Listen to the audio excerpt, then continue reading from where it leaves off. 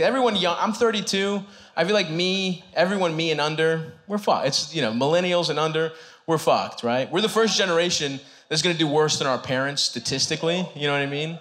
Which sucks, but the worst part is that our parents think it was because they were so smart. You know what I mean? That, I can't stand that. I'm tired of hearing it from baby boomers, right?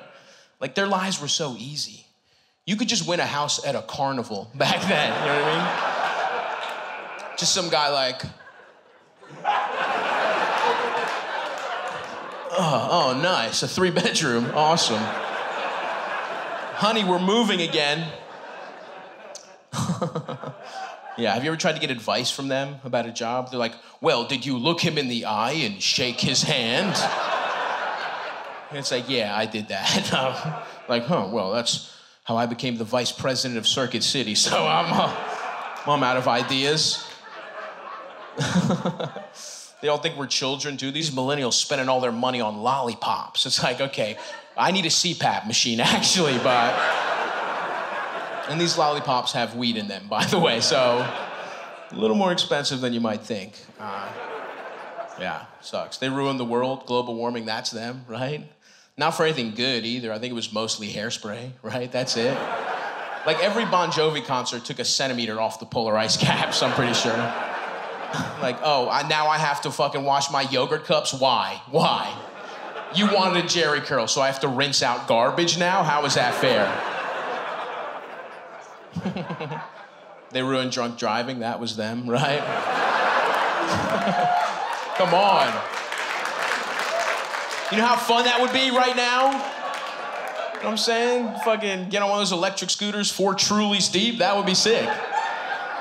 But no, somebody couldn't handle their Quaaludes, so. But the good news is, shit is only gonna continue to get worse. So we're gonna be able to do that to our kids, right? I can't wait to flex on my children, right?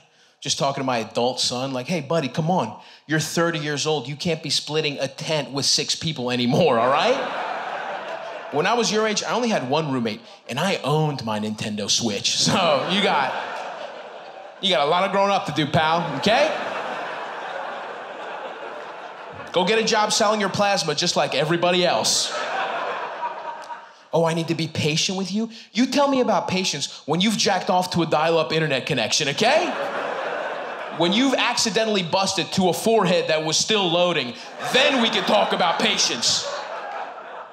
When you have printed out a picture of WWE superstar Trish Stratus on an inkjet printer to jack off to later, then we can talk about patience.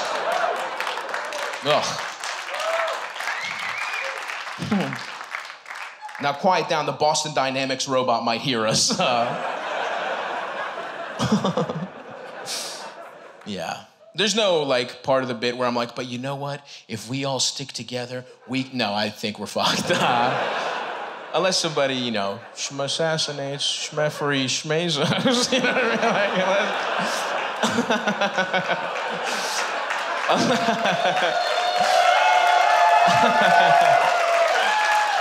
I didn't say it. Legally, I didn't say anything. You can't get me legally.